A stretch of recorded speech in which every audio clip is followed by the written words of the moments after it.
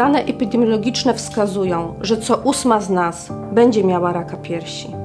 Szacuje się, że w przypadku guzka poniżej 1 cm średnicy pacjentka ma 95% szans na pełne wyleczenie. Dla zmiany powyżej 5 cm średnicy szanse te maleją do 20-30%.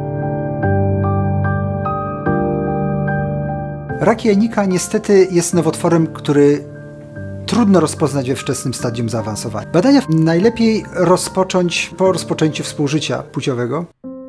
Rak piersi obok raka jajnika i raka szyjki macicy to jedne z najczęściej występujących nowotworów złośliwych u kobiet w Polsce. Każdy z nich najpierw zabija kobiecość, a nieleczony prowadzi do śmierci, zwykle w okresie od roku do pięciu lat. Jak mieszkasz w Polsce, jesteś kobietą i nie chodzisz na badania ginekologiczne, to masz mniej niż 50% szansy na przeżycie raka szyjki macicy. I to jest nasz wstyd. Nowotwór złośliwy jajnika jest nowotworem bardzo egalitarnym. Może dotyczyć każdego.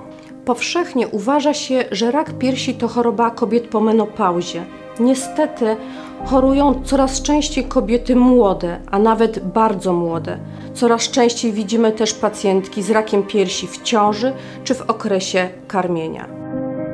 Dane pokazują, że każdego roku choroba nowotworowa dotknie odpowiednio 19 tysięcy kobiet w przypadku raka piersi, 4 tysiące zachoruje na raka szyjki macicy. Zaledwie 500 kobiet mniej zaatakuje najbardziej złośliwy z nich rak jajnika.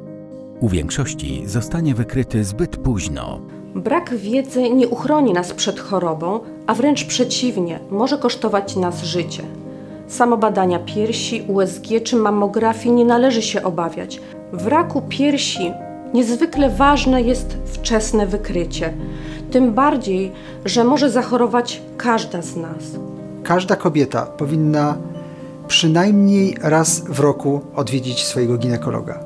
Warto inwestować w swoje zdrowie. Rakowi szyjki macicy można zapobiec poprzez szczepienia przeciwko HPV i regularne badanie ginekologiczne i cytologiczne. Od tego zależy późniejsza przyszłość, bycie mamą, bycie kobietą, bycie żoną. Profilaktyka to diagnostyka. Zbadaj się. Możesz wygrać więcej niż myślisz. Więcej informacji na www.su.krakow.pl Kampania W trosce o zdrowie kobiety, organizowana przez Szpital Uniwersytecki w Krakowie, jest finansowana z grantu edukacyjnego przez firmę Roche Diagnostics Polska Spółka ZOO.